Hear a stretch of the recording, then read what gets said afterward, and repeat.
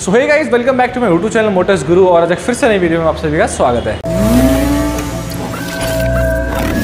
तो सबसे पहले अगर आप देखोगे, इसका जो फ्रंट है, वही आज भी वैसे ही पुराने लुक में आपको देखने को मिल जाता है, काफ़ी बल्कि सा, बड़ा सा। ब्लैक एंड इसमें ग्राफिक्स के काम जो रेड एंड वाइट ग्रे के कॉम्बिनेशन के साथ काम किया गया है। प्लस फ्रंट का इसमें आपको जो हेडलैम्प देखने को मिलने वाला है, ये आपको हेलोजन हेडलैम्प देखने को मिलने वाला है। उसके अलावा अगर आप देखोगे तो यहाँ पे नंबर प्लेट का ऑप्शन देखने को मिल जाएगा। इंडिकेटर्स इसमें आपको हेलोजन में देखने को मिलेंगे। ये फ्लेक्सिबल नहीं है उस तरीके से, बहुत बहुत बढ़िया, मैंने जो बहुत बढ़िया वीडियोस बनाई है काफ़ी सारी उनमें देखा हुआ मैंने जो इंडिकेटर्स वगैरह होते हैं काफ़ी फ्लेक्सिबल होते हैं बट ये उतना फ्लेक्सिबल नहीं है। बट स्ट्रिप्स सा है थोड़ा सा। ठीक है, बाकी इसमें आपको टेलीस्कोपिक फ्रंट में शॉकर्स देखने को मिल जाते हैं।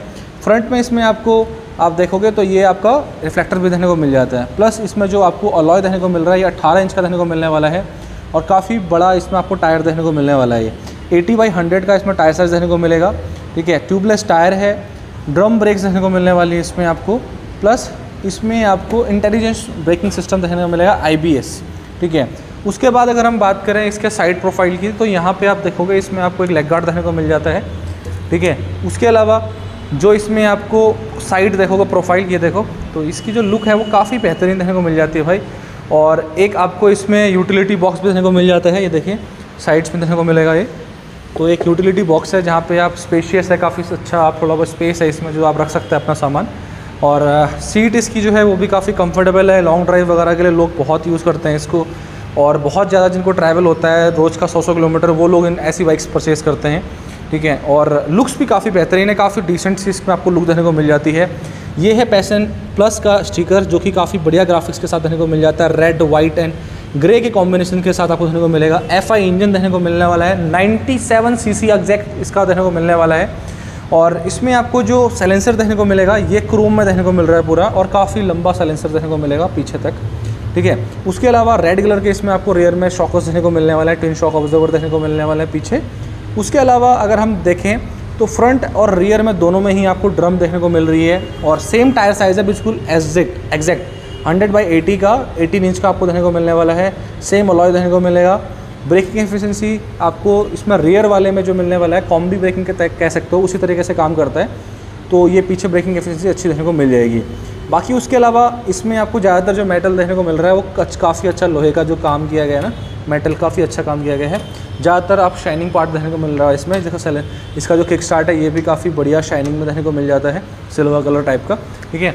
उसके अलावा अगर हम बात करें जो इसका फ्यूल टैंक है, ये आपको 11 लीटर के फ्यूल टैंक कैपेसिटी के साथ देखने को मिल जाता है। इसकी अगर हम बात करें एवरेज की, जैसे कि 100 सीसी की बाइक है तो अप्रॉक्सीमेटली 65-70 के आसपास इसकी एवरेज आराम से देखने को मिल जाएगी।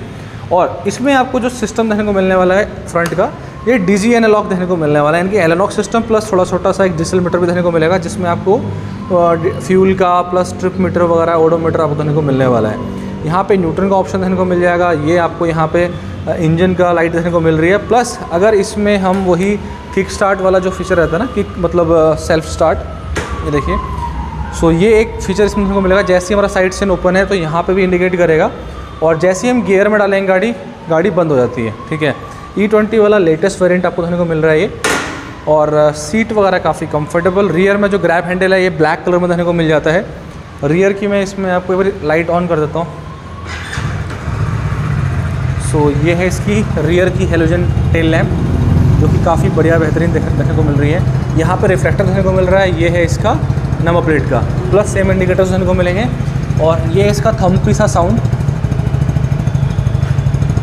ठीक है और अब इसका मैं आपको इंजन का साउंड सुना देता हूँ।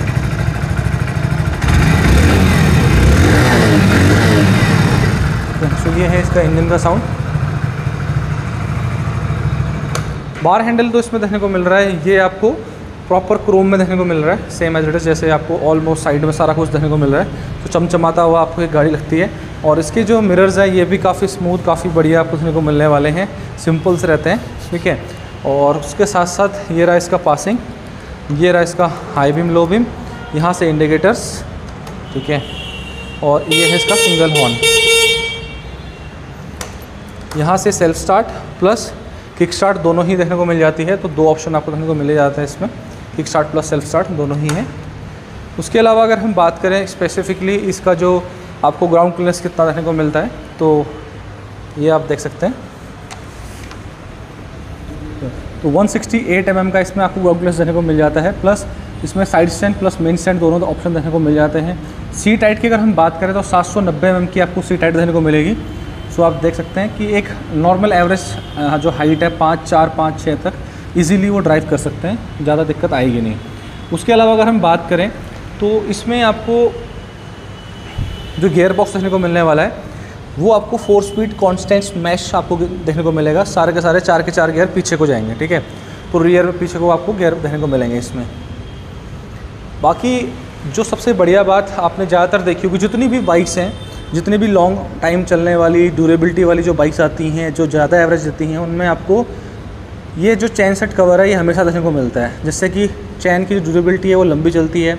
प्लस इसके अलावा अगर हम बात करें मेंटेनेंस लो हो जाती है उसकी, ठीक है? उसके अलावा ये देखोगे साइड में साड़ी गार्ड भी आपको देखने को मिलेगा और कुछ एक्सेसरीज़ की जो पार्ट है, वो जैसे कि इसमें लेग गार्ड जो लगा रखा है आई थिंक ये एक्सेसरीज़ का ही एक पार्ट है तो वो देखने को मिल जाता है। सो so गाइस बात करते हैं इसके इंजन की तो इसमें जो आपको इंजन देखने को मिल रहा है, ये air cooled four stroke engine देखने को मिल रहा है। डिस्प्लेसमेंट जो इसकी एग्जैक्ट है 97.2 सीसी की देखने को मिल जाती है।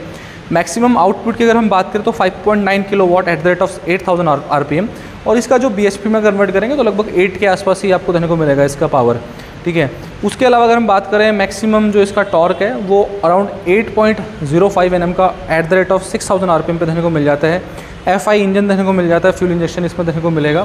फोर स्पीड मैंने आपको बता ही दिया कॉन्स्टेंस मैश इसमें गेयर बॉक्स देखने को मिल जाता है। फ्रंट में टेलीस्कोपिक रियर में आपको ट्यून ट्यूब देखने को मिल रहा है, जो इसके शॉकर्स हैं रेड कलर के। सो ये आपको देखने को मिल जाता है। बाकी जो इसमें आपको ड्रम ब्रेक्स देखने को मिल रही हैं, वो दोनों में ही फ्रंट और रियर में 130 एम mm की देखने को मिल जाती हैं। सो ये इसका जो ब्रेकिंग सिस्टम है, वो देखने को मिल जाएगा। सो भाई, इतनी बेहतरीन बाइक की आपकी कॉस्ट कितनी आती है, वो भी आप आपको बता देता हूँ। अगर आप इस बाइक को ऑल ओवर पैन इंडिया अगर एक्स शोरूम की मैं बात करूँ तो seventy six thousand three hundred के अप्रॉक्सीमेटली आपका इसका एक्स शोरूम रहने वाला है। ऑन रोड की अगर हम बात करें, दिल्ली नंबर अभी के हिसाब से, इसका नाइन्टी टू थाउज़ेंड रुपीज़ जो इसका ऑन रोड कॉस्ट रहने वाला है। सो गाइस आई होप ये छोटी सी जो वीडियो है, ये आपको पसंद आई होगी और जितनी भी इन्फॉर्मेशन मैंने बताने की कोशिश करी है, ये आपको समझ आई होगी। अगर भाई वीडियो अच्छी लगी है तो आप लाइक कर देना शेयर कर देना सब्सक्राइब कर देना हमारे चैनल को और बेल आइकन को प्रेस करना तो बिल्कुल भी ना बोलें बाकी आज की जो वीडियो हमारी बनाने में हेल्प करी है, ये अमन हीरो वालों ने करी है। उनका जो शोरूम का डिटेल्स है, ये आपको डिस्क्रिप्शन पर मिल जाएगा कॉन्टैक्ट नंबर वगैरह मिल जाएगा, सब कुछ कॉन्टैक्ट कर सकते हैं। बाकी मेरी रिकमेंडेशन हमेशा ये रहती है कि भाई कोई भी बुकिंग वगैरह ऑनलाइन ना करें, आप शोरूम पर विज़िट करें, उसके बाद ही किया करो। क्योंकि काफ़ी सारे लोग होते हैं जो फ्रॉड करते हैं। पता ही नहीं होता कि कहाँ पे है शोरूम कुछ है। ऑनलाइन बस किसी शोरूम के नाम पे पैसे ले लेते हैं और बुकिंग हो जाती है। तो ऐसा काम कुछ कुछ भी ना करें। आप शोरूम पे विज़िट करें ज़्यादा से ज़्यादा जितना भी हो सके। बाकी जो नंबर दिए हुए कॉन्टैक्ट नंबर दिए हुए इन पर कॉन्टैक्ट कर सकते हैं। आई होप वीडियो पसंद आई होगी। फिर मिलते हैं ऐसी और भी इंटरेस्टिंग वीडियोज़ के साथ। तब तक के लिए जय हिंद, जय भारत। Bye guys